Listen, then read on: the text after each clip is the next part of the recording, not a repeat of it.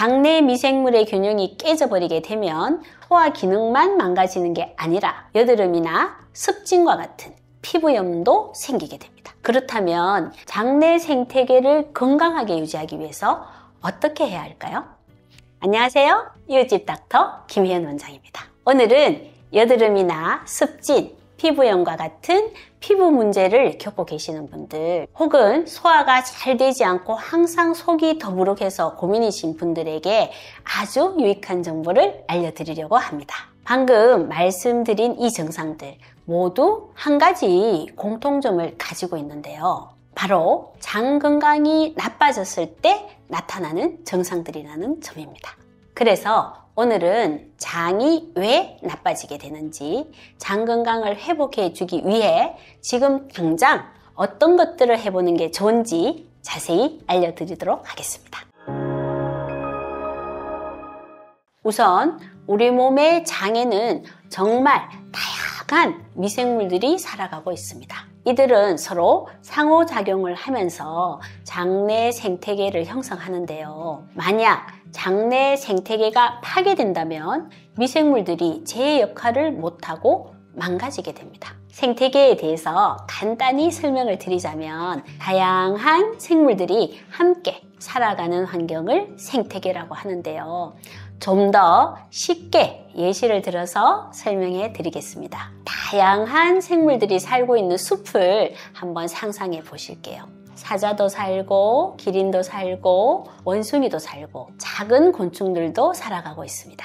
여기서 사자는 다른 동물들을 잡아먹지만 이들의 행동은 결과적으로 숲 전체의 균형을 잡는데 도움을 줍니다. 기린도 나뭇잎을 먹어서 나무가 건강하게 자라도록 돕고 원숭이도 나무에서 뛰어다니며 나무의 씨앗을 뻗트리는 역할을 합니다. 또 곤충들은 나무를 뜯어먹지만 원숭이의 먹이가 되어주죠. 그런데 만약 사자가 사라지면 기린이 나무 잎을 너무 많이 먹어서 열매도 제대로 안 자라게 되고 원숭이가 없어진다면 씨앗이 제대로 퍼지지 않아서 기린이 굶어 죽게 되겠죠. 장에 있는 미생물들도 완전히 똑같습니다. 어떤 미생물들은 영양분을 섭취해서 찌꺼기를 배출하고 또 다른 미생물들은 그 찌꺼기를 먹어 치우면서 각종 독소들을 배출하게 됩니다. 그리고 또 다른 미생물들은 이런 독소를 먹어 치우면서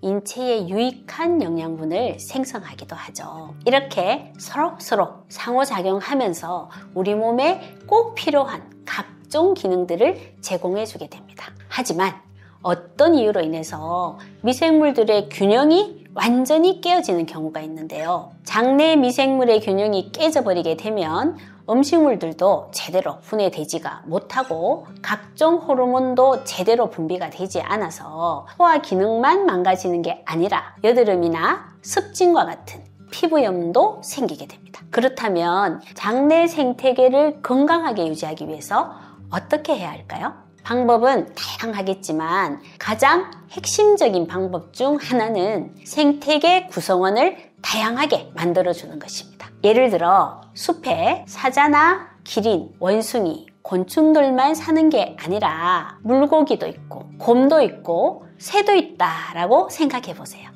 그러면 어떤 한 생물이 줄어들더라도 다른 생물들이 그 역할을 대신하면서 생태계의 균형이 계속 유지되기가 쉽겠죠. 마찬가지로 장내 미생물이 다양하면 다양할수록 세균들의 균형은 더욱더 안정적으로 자리 잡게 됩니다. 그래서 저희 병원에서는 대변 검사를 통해서 어떤 세균들이 부족한지를 검사를 하고 미생물의 다양성 지수를 평가해서 이것들을 높이기 위한 다양한 치료를 진행하게 됩니다. 전문 영양사와 함께 개인 맞춤형 식단을 처방하기도 하고 미생물의 균형을 방해하는 염증이나 면역 기능을 개선하기 위한 기능의학적인 치료도 병행하게 되죠. 자, 그렇다면 병원에서만 할 수 있는 전문적인 식단 처방이나 기능의학적 치료 외에 당장 혼자서도 실천할 수 있는 방법이 있을까요? 사실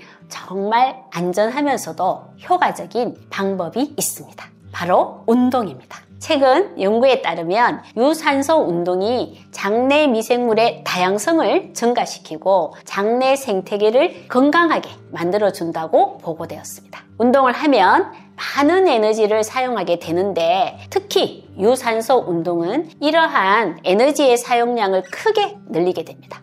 그리고 이러한 환경이 지속되면 우리 몸은 에너지를 더 효율적으로 사용할 수 있도록 최적화 시키게 되는데요. 이런 최적화 과정은 장내 세균에서도 변화를 일으킵니다. 장내 세균이 만들어내는 단세 지방산이 근육 세포에 신호를 보내서 운동에 필요한 에너지를 빠르고 효과적으로 공급할 수 있게 만들어주죠. 특히 단세 지방산은 유산소 운동을 통해서 더욱 더 많이 만들어지게 되는데요. 실제로 성인을 대상으로 6주간 지구력 운동을 실시한 결과 단세 지방산을 생성하는 박테로이데스가 증가한 것으로 나타났습니다. 즉, 우리 몸이 에너지를 많이 필요로 할수록 몸속의 세균들도 이에 맞춰 최적화되는데요. 이 과정에서 장내 미생물의 다양성도 증가하고 생태계도 더 건강하게 되는 것입니다. 자, 오늘은 이렇게 피부 건강에 있어서 장내 생태계가 얼마나 중요한지, 그리고 장내 생태계를 건강하게 해주기 위해서 무엇을 해야 하는지 자세히 알아봤습니다.